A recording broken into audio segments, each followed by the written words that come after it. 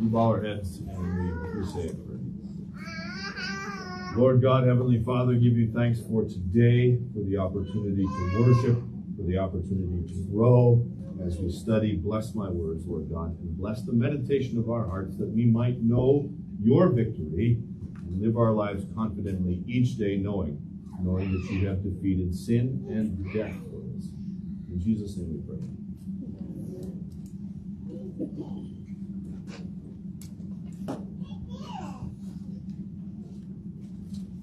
My brothers, my sisters. It's a normal thing to try and live as long as possible and avoid what? Death. That's a normal thing. God did not create us to die. He created us to live how long? Forever. And so it's a normal, natural thing for mankind to say, I would rather not die, but I would rather live. What is unnatural is to say, yeah, I, I, let me go seek death. It's not a normal thing. Especially for us who know Jesus Christ. We understand that in Jesus there is always hope. There is always the possibility and the truth that God will and can make all things work out for our good and for the good of those around us. But our world does not understand that.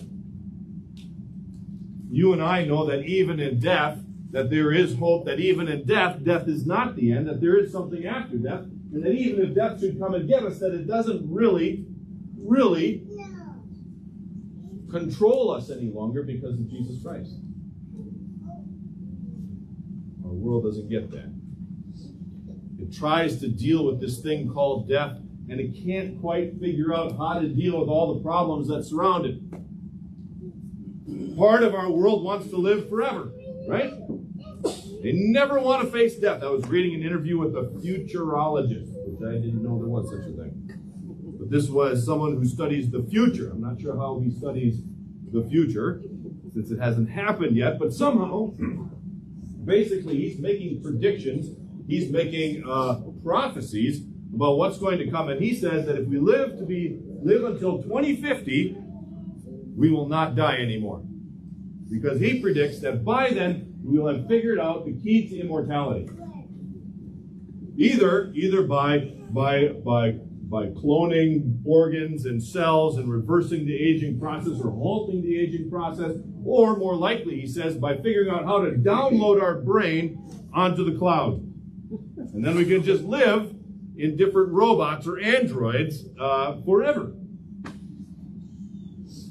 Now, all, so all you got to do is make it till 2050 and you're good to go, right? I don't know. I don't know what technology is going to bring. The only reason why I doubt that that's going to happen is because Jesus almost promises you and me that we're going to die, right? Uh, the soul that sins is the one who will die. That's almost a promise, right? But whether or not is not the issue.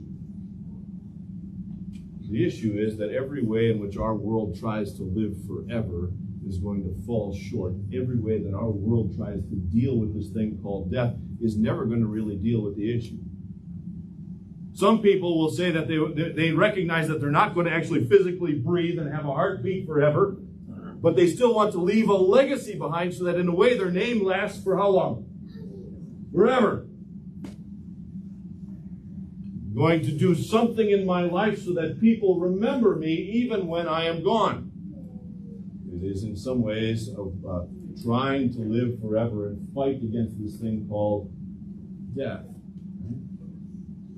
The reality is, unless you're somebody who's outstanding and stupendous in your life or really, really bad in your life, you will probably be forgotten. Right? Genghis Khan, we all know him. Right? Julius Caesar, but who came after Julius Caesar? Historians might know. You and I. He was emperor of Rome, and we forgot his name. How do we deal with death? You ever read an interview with one of those people who did one of these mass shootings? You ever read where they talk with them about why they did what they did? About half of them did it because they wanted to make sure that people would pay attention to them. They felt neglected, they felt empty, they felt lonely, they felt like no one even knew that they were alive. And if they did this awful thing, then at least, even if it was for a bad reason, someone would know that they were alive. In a way, it is a fighting of death.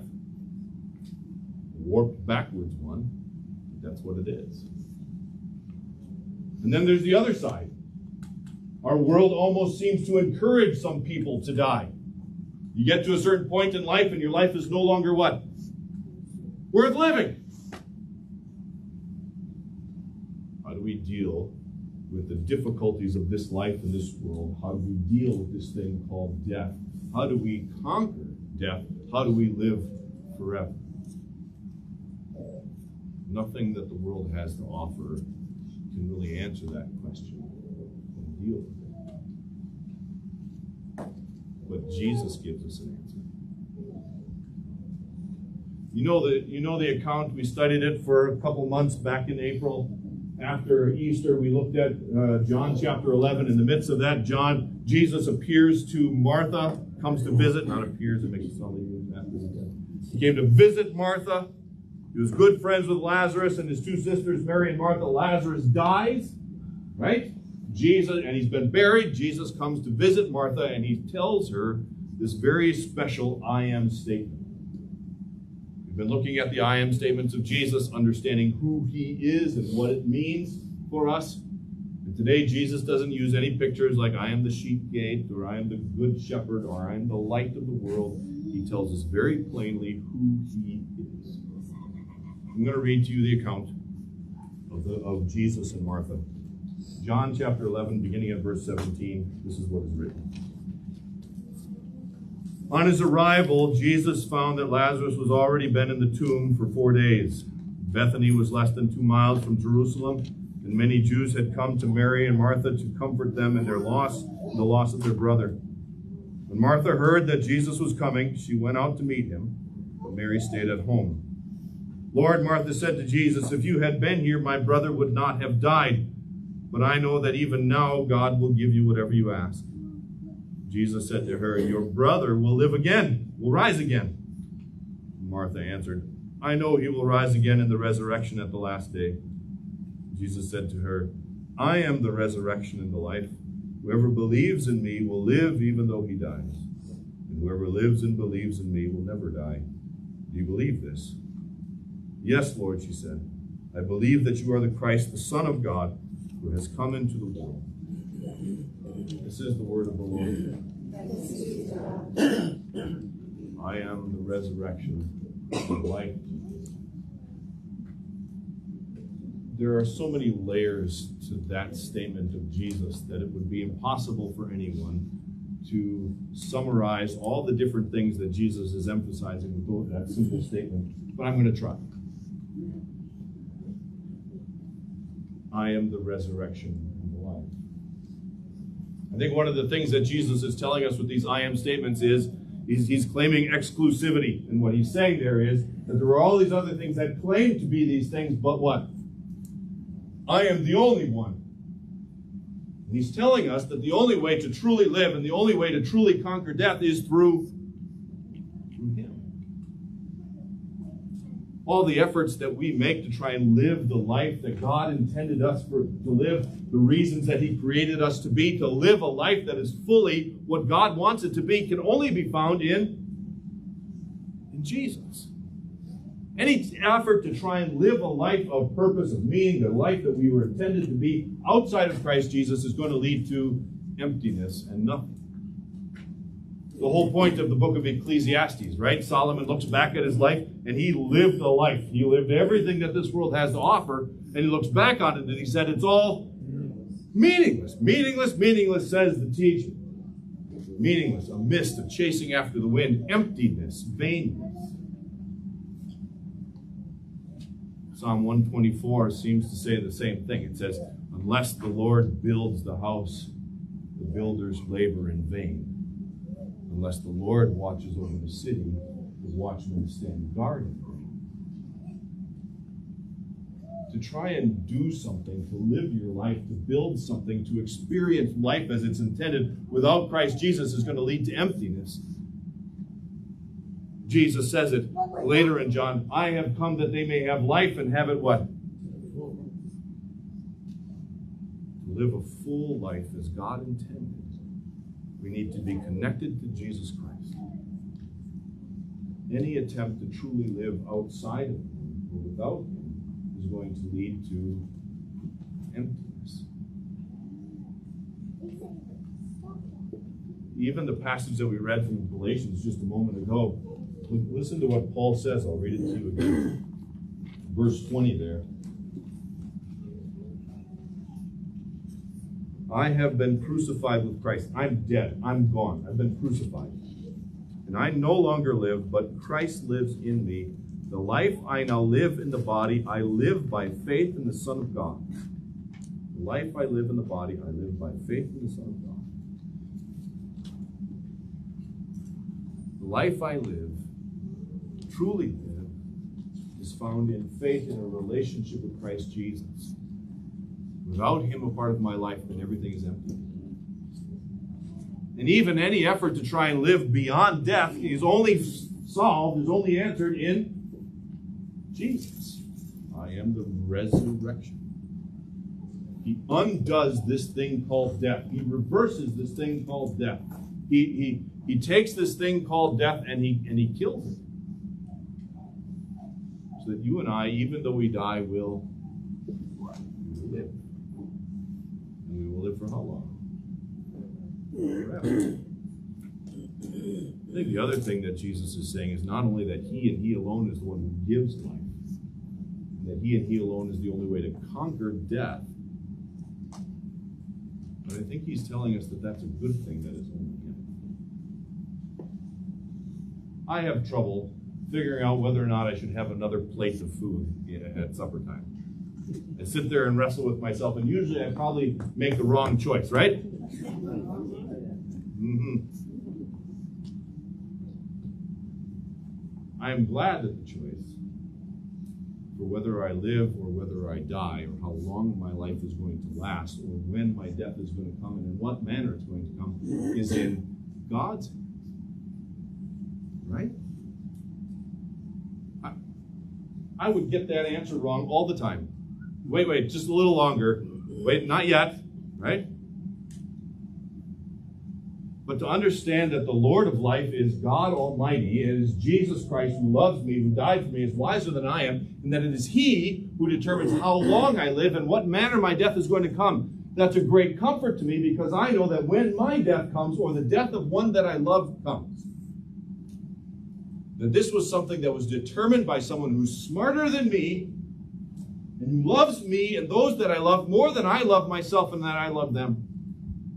And while it's sad and it hurts and I don't love it, I trust the fact that God knows the best time for all of these things to happen. I am the resurrection. I am the life, Jesus says. Nobody else. And I find comfort in knowing that I don't have to sit here and determine when my death is going to come. Imagine if that was your choice. I don't want that pressure. I, you know, that I don't need that. But to trust that the Lord of life, who loves me and died for me, looks at me and he says, This is exactly where you need to go. This is exactly how long your life is going to be. And all I have to do is what? Trust him. I think he's also setting a warning when he says, I am the resurrection, I am the life. He's telling us that he and he alone is the only one who's supposed to end life. And any attempt outside of that to try and end my life or someone else's life is really to say to the Lord God, You're not the Lord of life, but I am the Lord of life, and I'm the one who gets to determine when I die or when that person dies. Murder, even suicide, my own, it's not right. Right? Even if it's doctor assisted. The world gives us lots of logical reasons why this would be a good, wise, rational thing to do, but all of them lack one thing, and that is hope in Jesus Christ. Hope in Jesus Christ tells me that even death cannot rule me, cannot govern me. My life is in the hands of Jesus. Amen? Any attempt to end life outside of God Almighty flies in the face of the fact that Jesus says, I am the life, not you. with me? Now, anytime that we've done that, there is forgiveness in Jesus Christ through faith in Him. But at the same time, God would tell us that life belongs to Him, and He and He alone is the one who has the right to end it. Amen? I am the resurrection. I am the life. I think the other thing that He's saying to you and me is that He hates death. I hate death. Don't you? There is a lot of things about it that just, you know, stink. That's too light of a word. The separation that it causes, the broken heart, the just messing up of your life, right? The, the, the emptiness, the loss, the loneliness. Death is a horrible thing. But Jesus despises it even more than you and me. Despises it so much that he came to die to destroy death. That's how much he hates it. That's how much he despises it. And he did that so that you and I would never have to die again. He says, I am the resurrection. I have conquered death. I will reverse death. I despise it so much that I will not let it control you. I am the resurrection. I am the life, he says. I do not love death. Yes, the Bible tells us that precious in the sight of the Lord is the death of his saints, but not so much because they died, but because they get to live forever. God doesn't sit here and rejoice when someone dies. He's, he is broken as much as you and me. But what he did is he conquered it, he reversed it, he undid what death does. So that you and I know that even though in this life we may die, face death, deal with death, either our own or a loved one, that through Jesus Christ we know that it is not the end Jesus didn't say, I am the end, I am death, there is nothing more. He speaks to us whole. He says, I am the resurrection. I promise you, promise you to undo and reverse what death has done. I am the life. You will live forever with me, even though you die. Maybe a morbid subject maybe not what you wanted to hear today, but it's probably what we need to hear. Because whether we recognize it or not, death follows us around every day. Amen? Deal every day with the fact that we are going to die. We deal every day with the fact that those that we love have died or are facing death. So, how do we face it? How do we deal with it? Through Jesus Christ. Because he is the resurrection and he is the life. Amen.